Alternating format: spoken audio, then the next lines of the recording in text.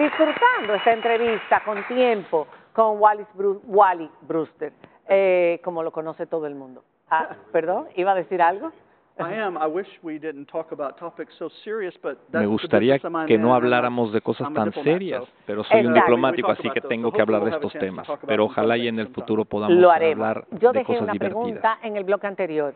Eh, la famosa frase motivada por una expresión suya donde decía eh, que el cáncer, la, el- la corrupción administrativa en República Dominicana era un cáncer.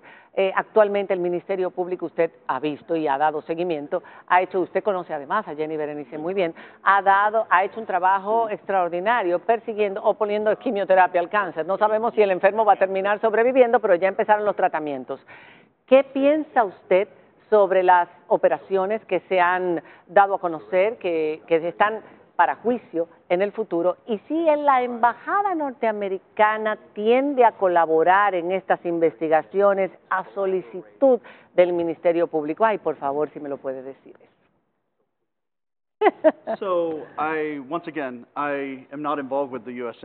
Una vez más, no estoy involucrado con la embajada americana, And you know. pero sí lo estuve. Sí puedo decir que hay una gran colaboración entre la embajada de Estados Unidos y la República Dominicana. La había cuando yo era embajador y la hay actualmente con la embajada. Las autoridades sí trabajan con la embajada en investigaciones. Específicamente sobre las operaciones que me estás preguntando, no sé. Pero sí creo que la corrupción es algo que se tiene que pelear, no solamente aquí, combatir, no solamente aquí, sino también en Estados Unidos. Pero cada vez que alguien hace algo como sobornar a un policía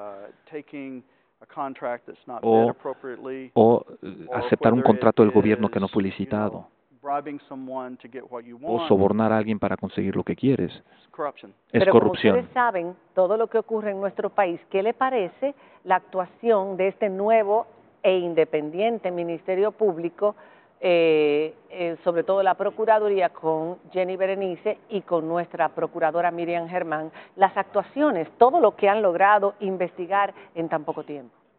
¿Qué le parece eso? Sé que su intención es tener un impacto. Hay oportunidades, por supuesto, pero específicamente No, sobre esos casos no puedo decir porque no estoy involucrado. nunca en nuestro país. El gobierno de Estados Unidos, todos los gobiernos siempre tienen que trabajar, inclusive en Haití. Se tiene que trabajar con ellos porque hay familias que están apoyando la corrupción allá, familias haitianas que viven fuera que están apoyando la, la corrupción allá.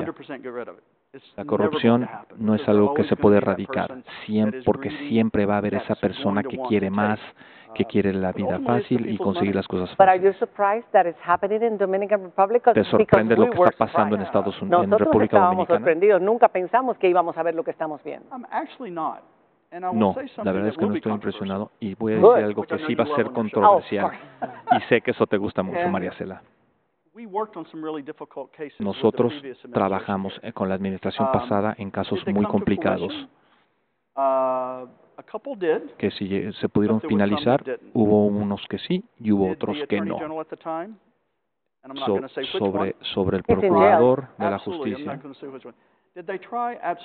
trata, si, tra- si trataron, sí, sí trataron. ¿Narcotráfico? Vi progreso al principio,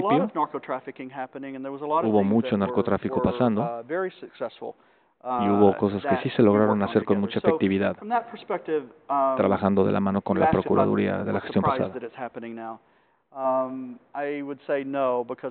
Diría que no estoy sorprendido de lo que está pasando porque la sociedad está lista de tener esta conversación y tenemos que afrontar.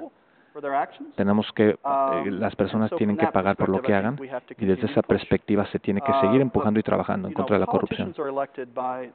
No debemos olvidar que los políticos lo eligen en las personas, el pueblo.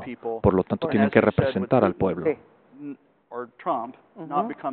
Y no ser como Trump o Putin que solamente quieran una beneficiarse ellos mismos. pregunta para finalizar. Usted llega en 2013 como embajador con una agenda muy progresista que sobre todo defendía los derechos de los gays y de las minorías a un país que tiene la Biblia abierta en su escudo y muy machista, sobre todo. ¿Cómo no compare las dos cosas, que la Biblia es maravillosa, el machismo es otra cosa. Y viene también de ahí, pero otros tiempos. Pero déjame terminar la pregunta. Eh, muy machista, fervientemente cristianos, católicos, y donde fue incluso insultado por la máxima autoridad de la iglesia en ese momento. El cardenal. ¿Pudo usted cumplir con los objetivos que tenía cuando vino al país completamente? ¿Se siente, eh, no sé, se siente satisfecho con su trabajo aquí? Nunca voy a estar satisfecho del trabajo que hice en República Dominicana hasta que todos en Estados Unidos y en la República Dominicana y alrededor del mundo tengan los mismos derechos que todas las demás personas. La, si la discriminación todavía prevalece, sí. Si, siento que hemos progresado, y no necesariamente yo, sino los dominicanos, yo siendo solamente representante de la del presidente Obama en la República Dominicana con mi esposo, yo sí creo que sí ha mejorado, pero todavía hay un camino muy largo que recorrer porque todavía hay mucha discriminación en contra de la uh, mujer, personas de color, personas de la comunidad LGTB, lo cual se ve también en Estados Unidos, que está retrocediendo en muchas formas con la administración pasada. O sea que todavía tenemos que uh, trabajar muy duro. Uh, Pero después de estar regresando, la esposa de, de, tiene que decir, quiere felicitar a la esposa de Moisés por ser su eh, cumpleaños, una, que es una persona con la cual él había estado viniendo mucho y consideran familia. Y así como ellos y en el mundo de, de, la pelota, él conoció a muchos de la comunidad de béisbol y, ellos se dieron cuenta que venían a un país de amor, a pesar del de, enfrentamiento de, de, algunos líderes religiosos, tanto de los evangélicos como de los católicos, usted encontró muchos creyentes en Dios, tanto católicos como de otras denominaciones, que lo apoyaron y lo recibieron con brazos abiertos y que estaban de acuerdo con su forma de pensar.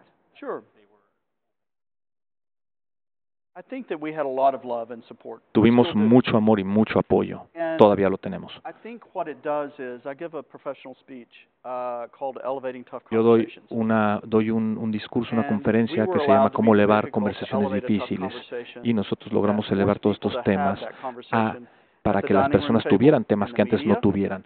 Uh, los llevamos que esas conversaciones a las cenas, a los medios de comunicación y a que se cuestionaran cómo me siento sobre estos temas de los cuales antes no se hablaban.